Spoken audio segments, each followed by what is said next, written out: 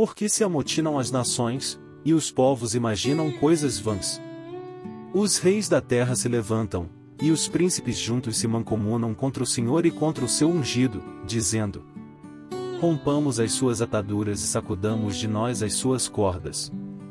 Aquele que habita nos céus se rirá, o Senhor zombará deles. Então, lhes falará na sua ira e no seu furor os confundirá. Eu, porém, ungi o meu rei sobre o meu santo monte Sião.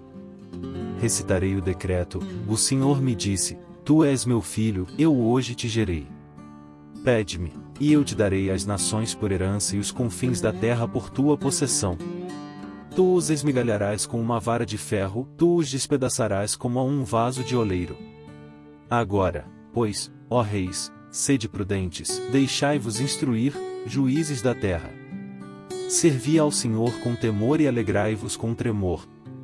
Beijai o filho, para que se não ire, e pereçais no caminho, quando em breve se inflamar a sua ira. Bem-aventurados todos aqueles que nele confiam. Salmos 2, 1, 12